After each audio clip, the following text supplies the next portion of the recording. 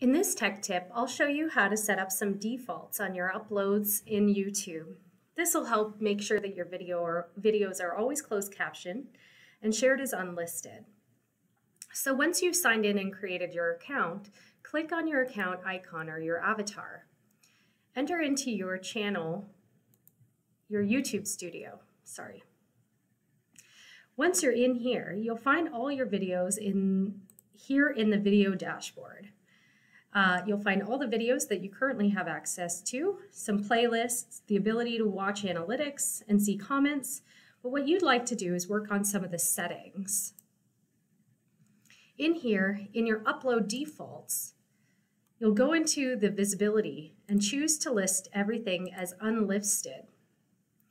In the advanced settings, you'll want to choose your license, maybe the category, setting it as education, and for sure the language.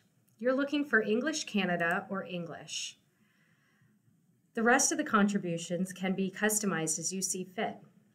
If you would like community members to be able to suggest revisions to your captions, you can choose those on.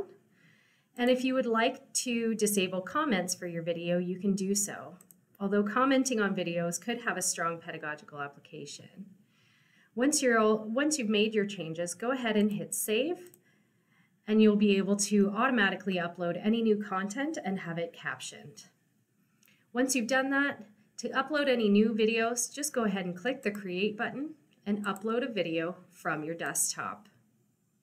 You can also upload videos from your mobile device just by using the mobile YouTube app and signing in with your account.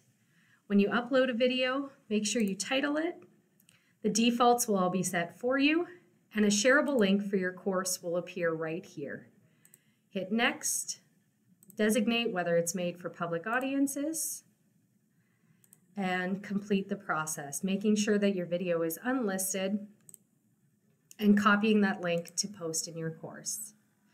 The upload process will begin, but you can go ahead and link it in your course now.